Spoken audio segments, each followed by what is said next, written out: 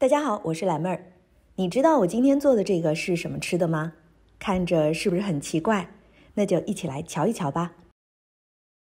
羊肚买回来之后啊，先处理掉黑色的膜，然后加小苏打和盐，用手抓揉，再多加一些淀粉，把羊肚的里里外外都抓揉抓揉。最后倒入清水洗干净。当然，羊肚里面的油脂也要记得摘除干净哦。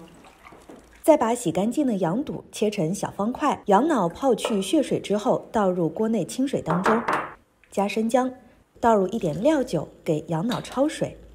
等锅内的水烧沸之后，撇掉表面的浮沫。等羊脑煮变色，就可以捞出来了。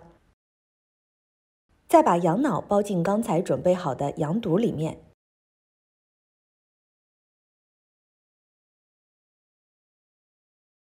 用绳子给它扎紧了。大家购买羊肚的时候啊，最好还是买处理好了的，不然没有几个小时在家真处理不了。全部做好以后，用牙签在羊肚表面扎几下，煮的时候防止羊肚爆开。接着把羊肚放入锅内，再倒入漫过羊肚的水。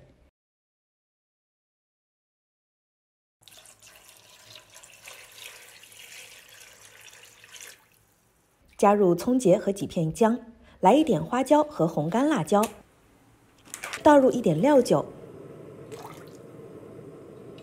再多倒一些生抽，加一小勺量的盐调味，开火加热，煮到羊肚熟透就可以关火了。想要羊脑入味一点的，那么煮熟以后呢，可以将羊肚放在汤汁里面浸泡一个晚上。